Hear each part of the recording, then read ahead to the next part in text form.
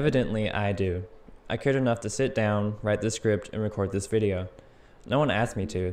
I could be doing a million other things, and yet, here I am. At a very large scale level, there is both no benefit and no harm in putting something out into the void of YouTube. Anyone with a sub count less than a big impressive number often goes unnoticed, and there's a strange comfort in that for me. I could technically put whatever I want on this channel and I won't have to worry about if people like it, because I like it. And that's all that should matter, right? But if I'm just yelling to no one about whatever, what's the point? Eventually, many small creators like myself grow tired of waiting for a viral moment, a sense of validation for sitting in our bedrooms in front of a camera, then behind a laptop or phone, and making video after video staying patient for the YouTube gods to notice. After a certain point of waiting, I think this is where many small creators stop being patient and just give up. And that makes me really sad. To just get to the point, make videos, make music, make art for yourself. You heard what I said, you read the title. Make art in the name of yourself. It doesn't matter if no one is listening, in fact, that's better.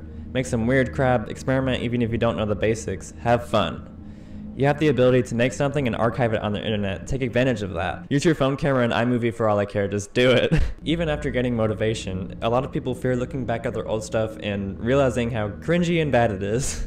This is obviously inevitable, but I don't think it should hold anyone back from starting, nor from picking up video making again. The way I see it, if you're able to look back at something from one or two or even five years ago and go, oh my god, ew, then that is a telltale sign that you've improved.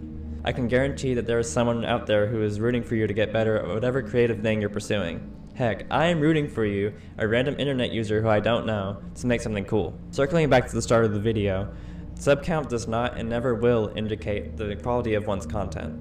I look up to a lot of really cool YouTubers who have less than a thousand subscribers. They've dedicated their free time to making videos just because it's fun. It's great being able to find some truly amazing short films, video essays, even music projects made by some dude from the middle of nowhere. The thing that sucks is that these profound pieces of work are almost always buried under a pile of garbage. And it can be hard to find that diamond in the rough. There isn't much we can do about what YouTube thinks must be shown on the trending tab, not like that matters much anyway, but you can control what you put on this platform. Hence, the reason I'm making this. Don't make content for the sole purpose of trying to get famous or rich or for whatever arbitrary reason. Make it because you love it. Make it because it's your mode of self-expression and the way you understand yourself. Make it because you want people to see the world through your eyes. Make it because you wouldn't trade the opportunity to make cool stuff with your friends for the world. So who cares? I do. And I think you will too if you give this a try.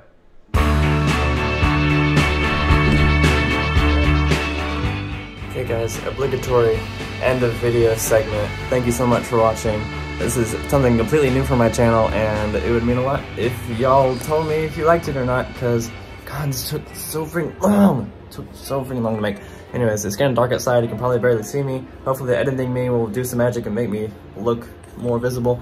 But uh, yeah, thank you for watching. Have a great day slash night. Bye bye.